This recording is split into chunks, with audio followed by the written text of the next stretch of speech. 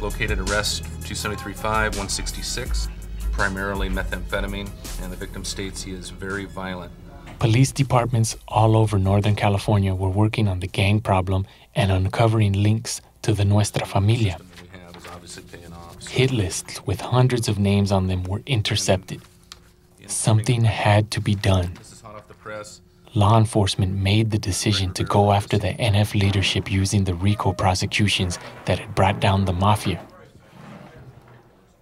In the late 1990s, they turned to the feds for help. We brought in the, the FBI, the Federal Bureau of Investigation, and they were able to bring resources that we did not have. What we tried to do was to mirror the web of, of the gang with our own web of law enforcement officers.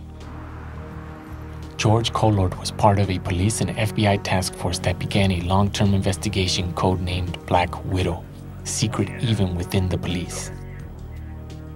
And as investigators in Operation Black Widow, we not only went after the guy who pulled the trigger, but who ordered that person to pull the trigger.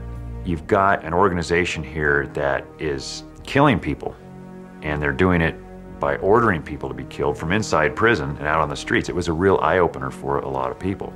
The strategy of the Black Widow investigation was to attack the leadership of the Nuestra Familia at Pelican Bay, men like these who run the NF from behind bars.